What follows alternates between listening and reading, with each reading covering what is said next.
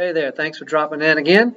Just want to share some thoughts with you. Right now, it's starting to snow outside. I can see it coming down. It's uh, Tuesday, I mean, excuse me, it's Wednesday, oh, about 4.15 or so. And uh, I was thinking about this verse I'm going to read in a minute about envy. And you know, there are some of us who would like to see a really big snow. Of course, we don't want it to interrupt work or church or anything like that. But if we could just, well, maybe the kids want it to interrupt school. We just like to have a nice snow. So here's this thought for you, a little funny thing.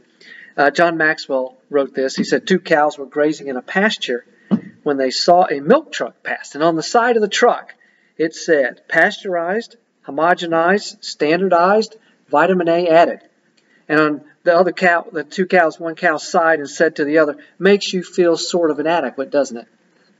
Well, the verse I want to read is from Proverbs 23, verses 17 and 18. Do not let your heart envy sinners, but always be zealous for the fear of the Lord. There is surely a future hope for you, and your hope will not be cut off.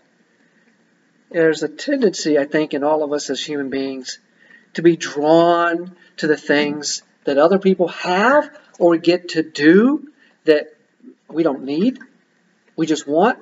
Maybe they're even wrong and sinful, and, and we wished, we envy, we desire, we covet. Sometimes we may feel the lure. If you read the Psalms and Proverbs, you'll see that these guys felt it too. We feel the lure of the freedom some people have.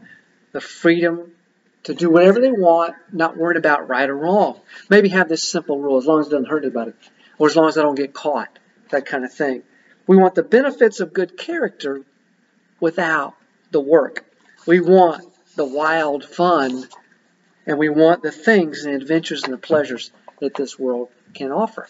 But in the midst of those thoughts, we get brought back to our commitment to follow Jesus, who loves us so much, who died on the cross for us, and who has a great future. He says here in Proverbs 23, different translation, Christian Standard Bible, don't let your heart envy sinners. Instead, always fear the Lord, for then you will have a future, and your hope will not be dashed. Your hope will not be dashed. Here's a funny story. I don't know who wrote this, but it goes like this. It's probably been around a while. There was a hip young man who bought this really great car, a Ferrari GTO. Took it out for a spin. Stopped at a red light. Now there was this old man who pulled up next to him in a moped, and the old man looked over at that sleek, shiny car, and he asked, "What kind of car you got there, Sonny?" A Ferrari GTO. It cost a half a million dollars, the guy said. The old man said, That's a lot of money. Why does it cost so much? And the young man said, Because this car can do up to 320 miles per hour. Well, the moped driver asked, Mind if I take a look inside? No problem. He leaned and looked, looked over inside through the window. And um, sitting back on his moped, he said, That's a pretty nice car, all right. Well, just when the light changed, the young driver decided, Let me show this young guy, this old guy, what it can do. So he punched it and within 30 seconds, the speedometer hit 160 miles per hour. Suddenly, the driver, this young man, noticed a dot in his rearview mirror. It was getting closer. And he slowed down to see what it could be, and whoosh, something went by him going much faster. And he's thinking, what in the world could be faster than this, this Ferrari? Then ahead of him, he sees a dot coming back towards him. Whoosh! It went by again, heading the opposite direction, and he, it kind of looked like the old man on the moped. couldn't be. How could a moped outrun a Ferrari? Well, once more he saw the dot in his rearview mirror, followed by a bang as the speeding object crashed in the back of his Ferrari. So he jumped out of the car and he saw the old man laying on the pavement. Hey, are you okay? Is there anything I can do for you? And the old man said, Unhook my suspenders from your side view mirror.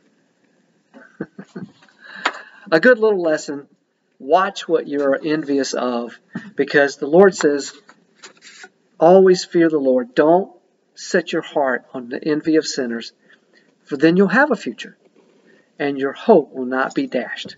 Well, I hope you enjoyed the fun and keep in mind the good word for you from God's word. God bless. Take care.